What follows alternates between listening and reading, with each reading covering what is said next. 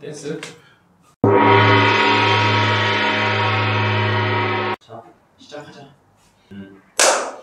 여러분 안녕하세요 오원장입니다. 아, 네. 구독과 좋아요 부탁드려요. 네, 네. 오늘은 뜬금없이 네. 에고스키 운동이랑 동작에 관해서 좀 할까 합니다.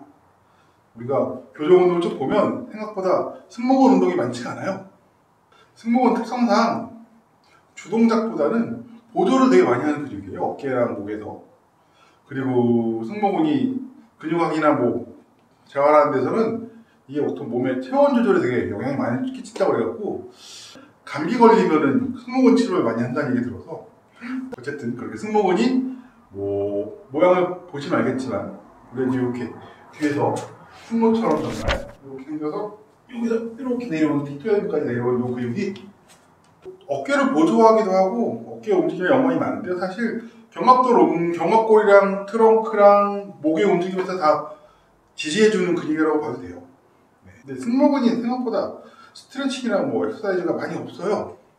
근데 오늘 하는 거는 승모근을 좀 길게 뻗어서 쓰는 연습을 하는 거예요. 이 책입니다. 통증 없이 산다는 책인데요. 네. 좋은 책이라고 해야 되나 이거? 내용은 좋은데요.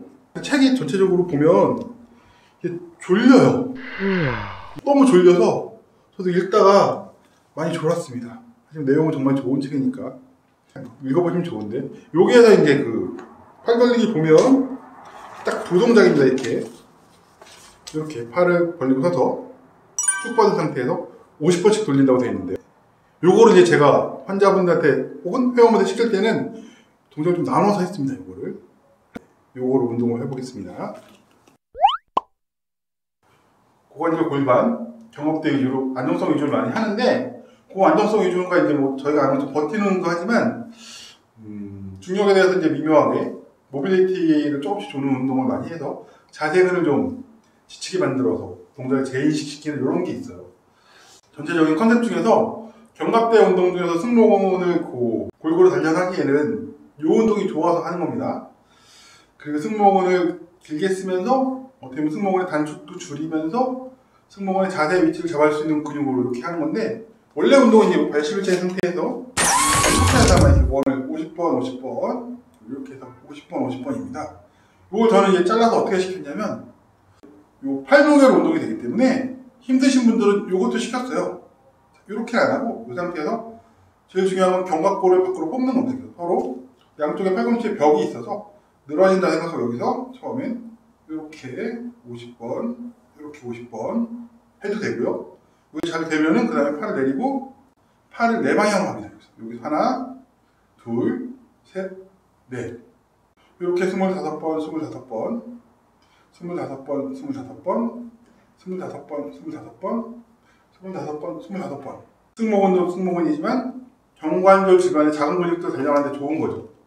포인트는 팔을 길게 뻗는다는 게 포인트예요. 포인트. 뭐 말리지도 않고 너무 피지도 않고 이게 길어져서 양쪽 팔이 닿는다고 생각하셔야 돼요. 해봐야겠죠, 한번.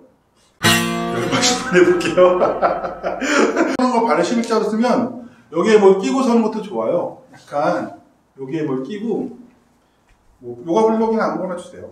그리고 살짝 요걸 이렇게 끼고 발을 실자 상태에서 내전을 약간 조이듯이 쓰세요. 조이듯이 약간 무릎은 다 펴도 되고 살짝 구부려도 됩니다.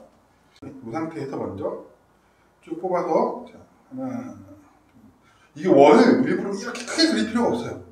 쭉 뻗어서 작게 그려도 돼요. 이게 더 근육이 자세 근육이 더 피곤합니다.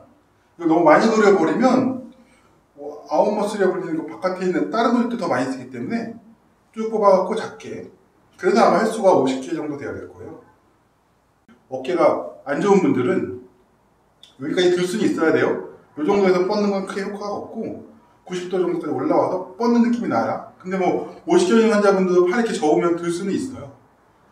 이렇게 해서 이렇게 한 30번 반대로 30번 해서 어깨 통증이 준 다음에 해도 되고 해서 어깨가 더 아프면 안 됩니다. 하면 안 되겠죠. 그 다음에 이제 팔을 뻗어서 해보겠습니다.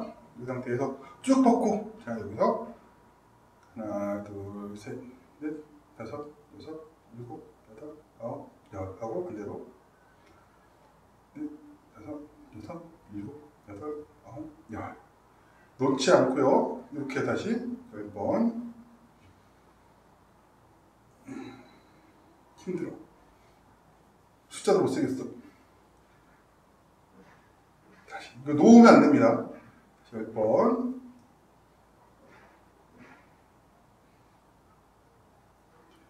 하다 보면 목에 긴장이 올라올 때가 있는데, 그럴수록 더 밖으로 뻗어내세요.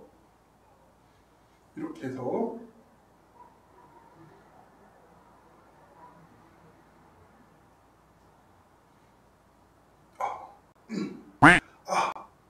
빨리 세, 빨리 세, 빨리 세. 이걸 어떻게 25번씩 했을까 옛날에는. 요거를 뻗어서 충분히 어깨를 피곤하게 만들어 보면 생각보다 어깨가 자세가 펴지면서 그 승모근이 뭉치진 않지만 그 뒤에서 병아골을 잘 잡아주는 느낌이 나요. 그, 그 주변의 근육을 넓게 뻗어서 길게 쓰는 거를 운동을 하면 자세가 확실히 좋아집니다. 내전근을 그런 식으로 조이는 특별한 이유가 있어요. 아, 조이는 건 사실 이게 그냥 서서 하는 것보다는 골반이랑 다리에서 코어 쓰는 걸 참여시키려고 이거 조이면서 이렇게 쓰는 거야. 이거 약간 필라테스나 DLS 컨셉이라고 볼까. 뭐 이거 이제 뭐 승모근이 뭉쳐있는 것도 괜찮지만 또 어깨 통증이 있거나 상하근에 과도한 긴장이 있는 분들이 해도 좋습니다. 사실 이게 진짜 애매한 건데 그 이런 자대근 근육들은 이렇게 몇 번이 아니고 운동할 때 피곤하고 근육들이 생길 수 있지만 하고 나면 trigger point가 생기거나 이렇게 뭉치질 않거든요. 오히려 그 근육이 정돈된 느낌이 있어서 자주 하셔도 괜찮습니다. 어깨도 뭉치지만 않는다면 매일.